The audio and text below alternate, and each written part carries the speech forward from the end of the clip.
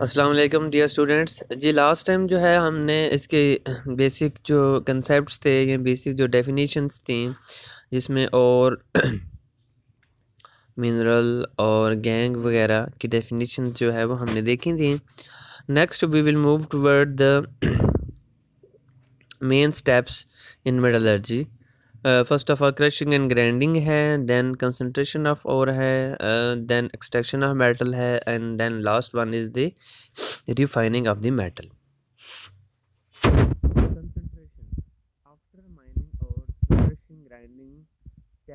converted into powder. ठीक है? कहता है कि आप जब कहीं पे करते हैं। अल्हम्दुलिल्लाह। वगैरह करते हैं सर्वे वगैरह के बाद आपको पता चल जाता है कि यहाँ से जो हमें और मिलेगी, और उससे जो हम मेटल एक्सट्रैक्ट करेंगे, वो इकनॉमिकली फिजिबल होगी। तो उसके बाद आप क्या करते हैं, वहाँ पे क्रशिंग और ग्राइंडिंग वगैरह शुरू करते हैं। क्रशिंग और ग्राइंडिंग वगैरह करने के बाद आप उसको कम्प्लीटली पाउडर फार्म में, फॉर एग्ज़ाम्पल पहले अगर बड़े बड़े स्टोन्स की फार्म में थी बड़े बड़े पत्थरों की फार्म में थी ब्लॉक्स की फार्म में थी तो आप उसको ग्राइंडिंग करते हैं, और उसके थ्रू इसको पाउडर फार्म में कन्वर्ट कर then mineral is separated from gangue by some physical method यानी कि जो एक मिनरल और एक गैंग। मिनरल समझिए कि वो चीज़ है जो हमारे लिए बेनिफिशियल है। गैंग वो है जो इम्प्योरिटीज़ हैं जो फॉर एग्ज़ाम्पल डस्ट वगैरह साथ आ गई है, ठीक है, मिट्टी वगैरह मिक्स हो गई तो उसको हम जो है अपनी रिक्वायर्ड चीज़ से या डिज़ायर चीज़ से सेपरेट कर लेंगे, ठीक है? This process is called concentration mean हम उसकी क्वांटिटी को इनरिच करेंगे, यानी कि ज़्यादा करेंगे।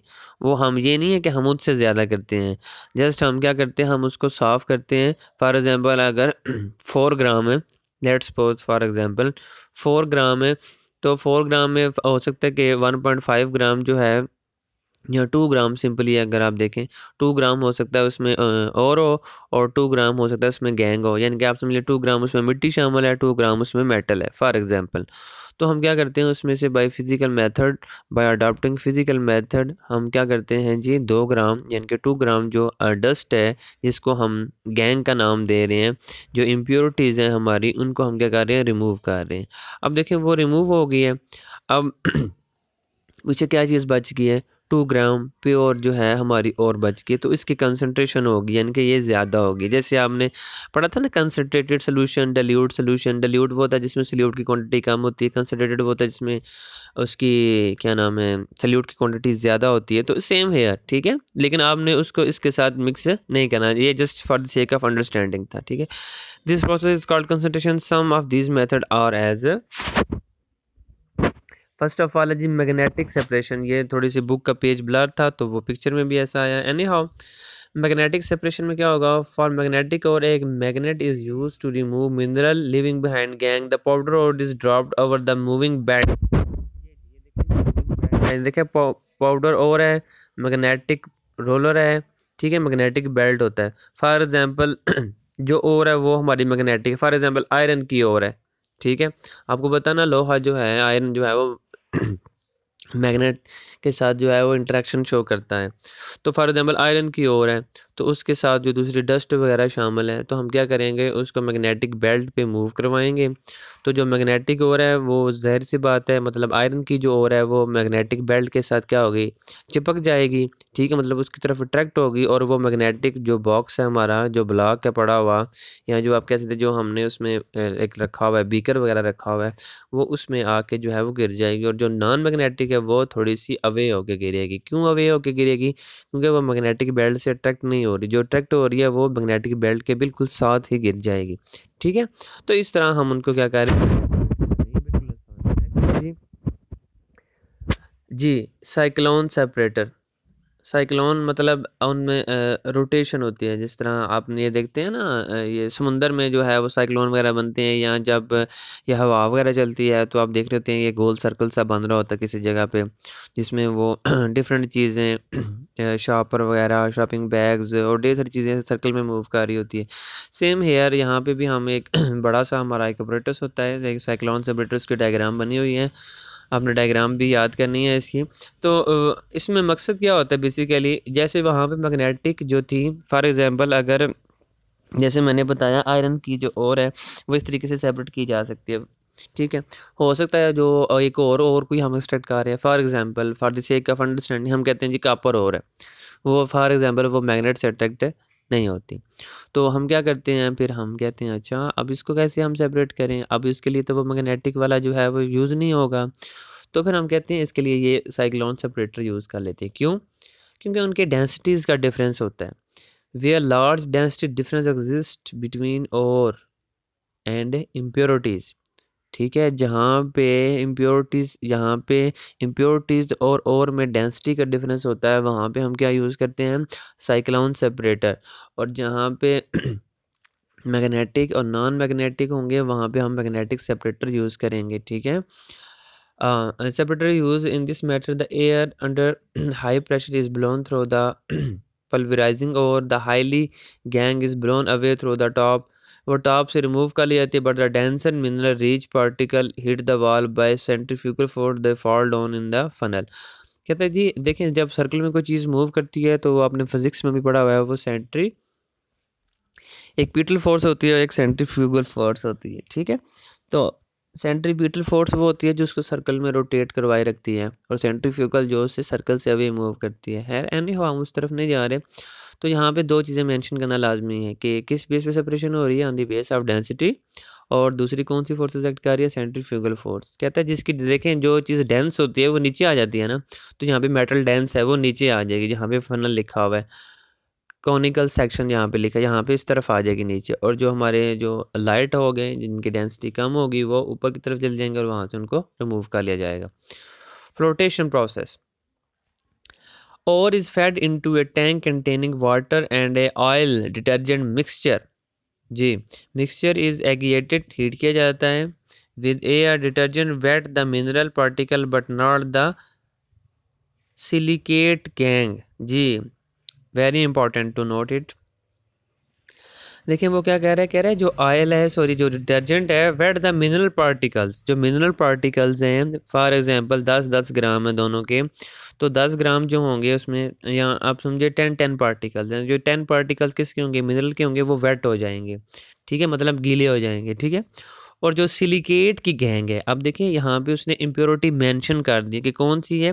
सिलिकेट जो है, वो क्या होंगे? वो वेट नहीं होंगे। The mineral particle rise to the top of the mixture as froth from they are skimmed off कहते हैं वो क्या करते हैं? वो टॉप पे चले जाते हैं। स्किम्ड ऑफ़ का मतलब क्या है? जैसे, फॉर एग्ज़ाम्पल आप दूध से मलाई उतारते हैं ना, ऊपर से, इस तरह मतलब होता है स्किमिंग स्किम्ड ऑफ़ का मतलब है ऊपर से तय उतार लेना, ठीक है? तो वो क्या करते हैं, वो राइज अप कर जाते हैं। जो कौन राइज अप करते हैं जी? Mineral mineral particle rise up कर जाते हैं तो वहाँ से हम उन्हें क्या करते हैं, वहाँ से ऊपर ऊपर वाली जो उनकी तय होती है, उनको हम उतार लेते हैं, जैसे हम दूध से मलाई उतारते हैं, ठीक है? ये for the sake of understanding में आपको बता रहा हूँ। स्किम्ड ऑफ़ का मतलब ये है कि ऊपर से हम उसकी जो एक लेयर होती है वी रिमूव द लेयर ठीक है? हम वो लेयर जो है वो रिमूव कर लेते हैं। ये स्किमिंग का मतलब ये होता है। Particles of the gang is fall down to the bottom. Anyhow copper ore is the concentrated generally by the हाँ देखिए उसने ये बताया कि कापर की जो ओर है, वो इस मेथड से हम जो है वो उसकी कंसनट्रेशन को ज़्यादा करते हैं।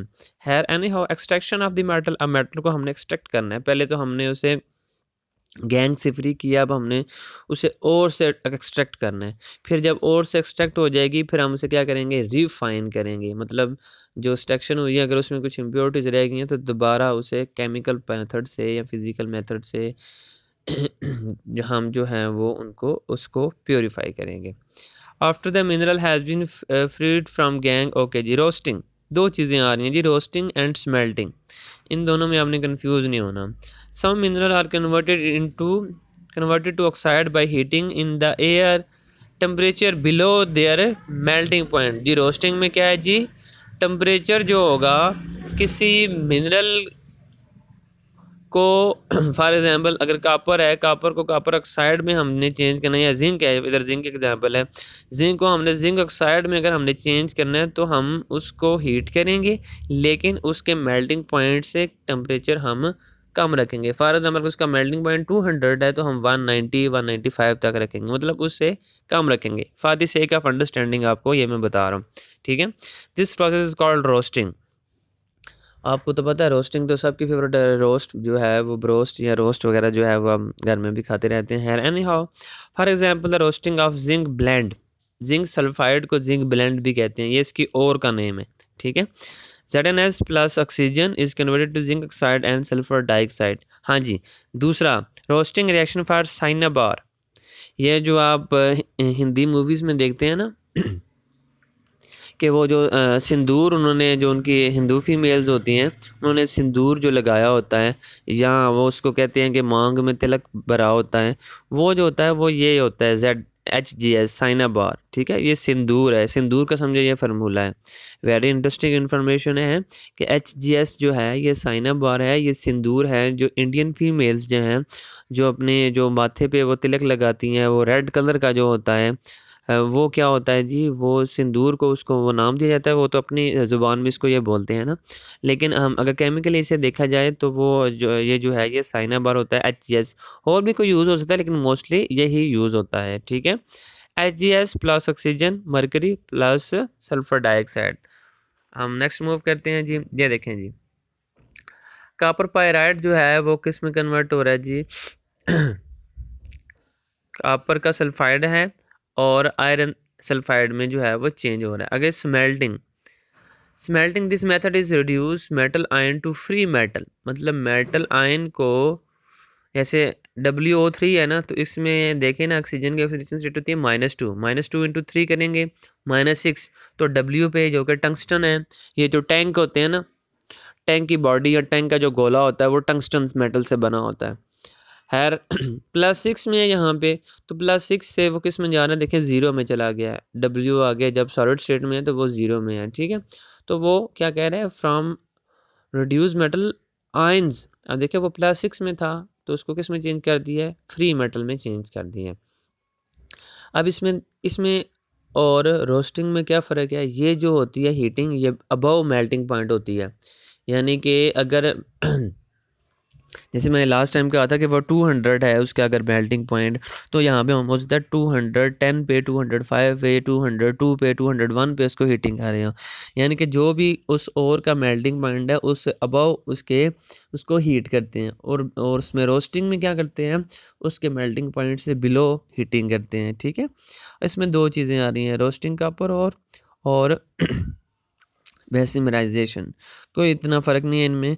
uh, is heated with coke and sand at about um, uh, 1100 degrees celsius the materials melt and separated in two layers the bottom layer that contain the mixture of cu2s and fes is called mate g what is mate the mixture of cu2s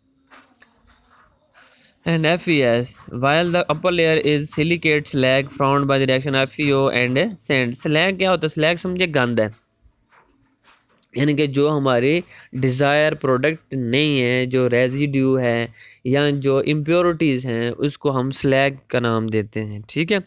In this process air is blown bessemerisation through the molten copper matte in a bessemer converter any remaining iron sulphide is oxidise along and removed as slag. In the final smelting cuprous sulfide is oxidized to cuprous oxide which react with the remaining copper, cuprous sulfide to form metallic copper. ठीक है? पहले में क्या हुआ है? पहले में mostly जो है वो आयरन जो है वो रिमूव हुआ है। आयरन सल्फाइड रिमूव हुआ है स्लैग की फॉर्म में। दूसरे में क्या हुआ है कि जो हमारे पास बकिया कुछ अगर रह गया था वो भी रिमूव हुआ है और कापर जो सल्फाइड था वो copper cuprous sorry cuprous sulphide जो था, वह क्यूप्रस ऑक्साइड में चेंज हुआ है, ठीक this product is called blister copper ये जो फ्री कापर है, जिसके साथ सिक्स लिखा है। ब्लिस्टर कापर क्या होता है जी? Ninety seven to ninety nine percent pure copper को ब्लिस्टर कापर कहा जाता है। वाइल इंट्राइबल ऑफ़ ऐसे to in bessemerisation is also use to convert pure iron into steel कहते हैं वो भी आयरन को स्टील में। अब आयरन और स्टील में क्या फ़र्क है? इसमें um, जो है वो परसेंटेज का डिफरेंस होता है। हैर एनी हो हम उसकी तरफ़ नहीं जा रहे रिफाइनिंग या प्योरीफिकेशन ऑफ़ मेटल अब मेटल एक्सट्रैक्ट हो अब उसको हमने रिफाइन करना है। मतलब पहले ही वो काफ़ी ज़्यादा प्योर है, यानी कि नाइन्टी सेवन फॉर एग्ज़ाम्पल अगर हम यही लेते हैं ninety seven to ninety nine percent ठीक है? फॉर एग्ज़ाम्पल वो नाइन्टी एट होती है। तो हम क्या करते हैं, हम फर्दर कोई ऐसा प्रोसेस यूज़ करते हैं, जिससे हमारे फर्दर जो है, वो प्योरीफिकेशन जो है, वो इन्हांस हो सके। तो वो कितने तक पहुँच जाती है जी? नाइन्टी नाइन परसेंट तक, ठीक है? जी। तो हम अब देखते हैं कि रिफाइनिंग जो है, वो कैसे होगी। स्टूडेंट्स नाइन्थ क्लास में पढ़ चुके हैं। इलेक्ट्रोप्लेटिंग जो है वो आपने फिनोमना जो है वहाँ पे पढ़ा था। ठीक है? तो यहाँ पे भी वही इलेक्ट्रोकेमिस्ट्री वाले चैप्टर में सेवन्थ चैप्टर में। तो यहाँ पे भी वही चीज़ जो हो रहा है इलेक्ट्रोलिटिक सेल यूज़ हो रहा है, लेकिन लेकिन यहाँ पे आपने एक चीज़ जेन में रखनी है। एक चीज़ जो यहाँ पे नोट की जाएगी, वो ये चीज़ नोट की जाएगी कि आपने एनोड किस चीज़ का सिलेक्ट करना है और कैथोड किस चीज़ का सिलेक्ट करना है? वेरी इंपॉर्टेंट टू नोट कि कैथोड किस चीज़ का होगा और एनोड किस चीज़ का होगा। जो आपकी इम्प्योर मेटल है, उसका क्या होगा जी? उसका होगा विच इम्प्योर मेटल क्या होगा? रीड करें इसे, देख के बताएँ, शाबाश। इम्प्योर मेटल क्या होगी? Impure metal acts as anode and the sample of pure metal act as a cathode.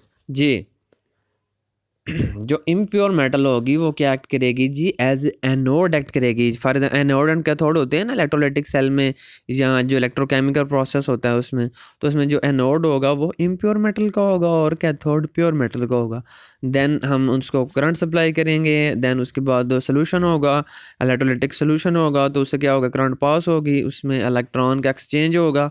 Electron के एक्सचेंज की वजह से जो है एनोड एंड कैथोड पर डिफरेंट रिएक्शंस भी होंगे।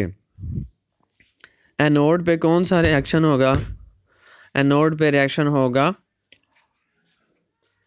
ऑक्सीडेशन और कैथोड पे रिडक्शन ऑक्सीडेशन क्या है जी? Loss of electron why reduction ji? Gain of electron तो यहाँ पे देखें कॉपर जो सॉलिड फॉर्म में था एनोड वाला कौन सा था? इम्प्योर वो कॉपर एक्वस में गया है? देन वो वहाँ से एनोड की तरफ़ गया है, वहाँ से इलेक्ट्रॉन उसने गेन किए हैं और कापर सॉलिड में, यानी कि प्योर कापर में जो है वो चेंज हो गया है। आई होप सो कि आपको समझ आया होगा, अगर नहीं समझ आया तो इसको दोबारा सुने। Next we move toward Solvay process very important very important process sodium carbonate or soda ash is an important industrial chemical it is use in the manufacturing of glass soap detergents, paper, and many other important chemicals, sodium carbonate is manufactured in continuous process known as Solvay process. ये बहुत ही important है long question के लिए ये बहुत important है इसको नोट करें इस शॉर्ट क्वेश्चन के हवाले से भी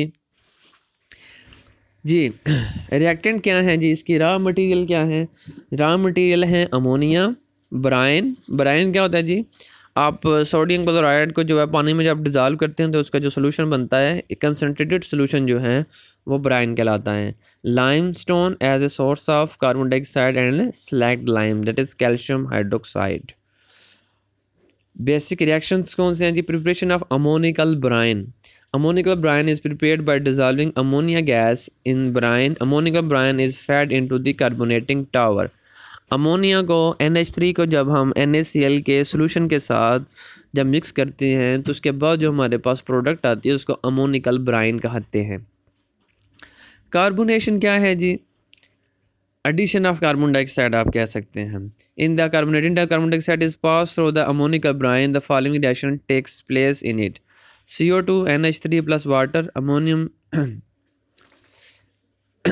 N H four H C O three that is react with uh, this is going to react with the NaCl to produce sodium bicarbonate and ammonium chloride okay जी दो चीज़ें बन गई हमारी in the lower compartment of carbonating tower the temperature of the mixture is lower to fifteen degree Celsius at this temperature sodium bicarbonate precipitates out कहते हैं उनका temperature जो है लो होता है और इस इस टेम्परेचर इस टेम्परेचर पर जो है सोडियम जो बाइकार्बोनेट होता है, वो प्रेसिपिटेट आउट हो जाता है।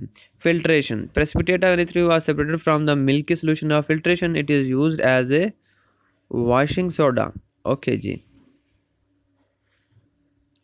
जी सोडियम बाइकार्बोनेट जो है वो वॉशिंग सोडा है और N A two C O three जो है वो सोडा ऐश है। आपने इसमें कंफ्यूज नहीं होना। ठीक है? आगे जी क्या है?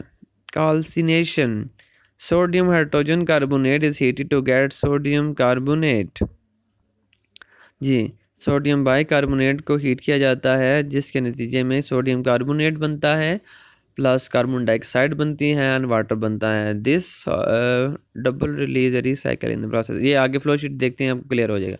Preparation of carbon dioxide and select lime carbon dioxide कहाँ से आती हैं? कैल्शियम कार्बोनेट को हम हीट करते हैं तो उसे कार्बन डाइऑक्साइड और सेलेक्ट लाइम हमें मिलता है। जब वो कैसे मिलता है सेलेक्ट लाइम क्योंकि कैल्शियम ऑक्साइड जो है, जब वाटर के साथ रिएक्ट करता है तो वो कैल्शियम ऑक्साइड में जो है, वो चेंज हो जाता है। Select lime is produce to the ammonia recovery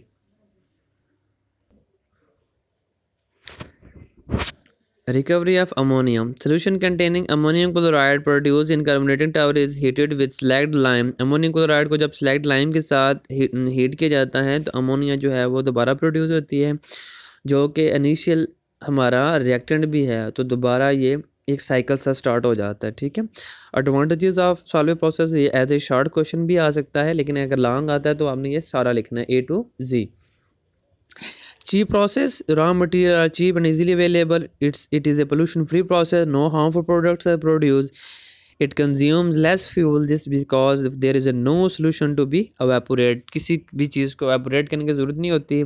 इसलिए हमें हीट कम देनी पड़ती है और उस वजह से हमारा फ्यूल की कंजम्पशन जो है वो कम होती है। Carbon dioxide and ammonia are converted and reuse in the process yes it produce pure sodium bicarbonate and sodium carbonate sodium carbonate क्या है जी? सोडा एश है और sodium bicarbonate N H C O three ये है washing soda.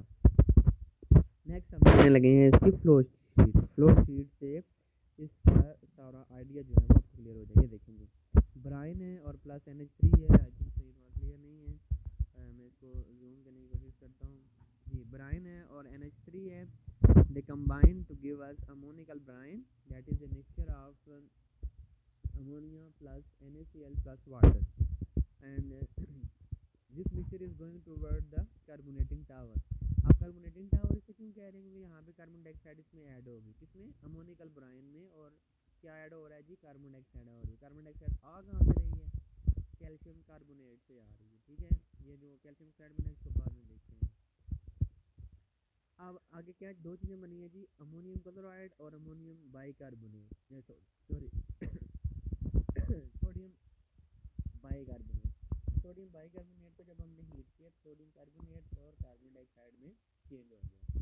और जो ammonium ammonium chloride था, ये देखें यहाँ पे सोडियम कार्बोनेट हमारा बन गया जो अमोनियम क्लोराइड था, वो क्या गया है? अमोनिया रिकवरी टावर में गया है। वहाँ पे उससे जब हम, हमने ब्रेक किया हीट किया तो वो कैल्शियम क्लोराइड में और एन एच थ्री में चेंज हो गया।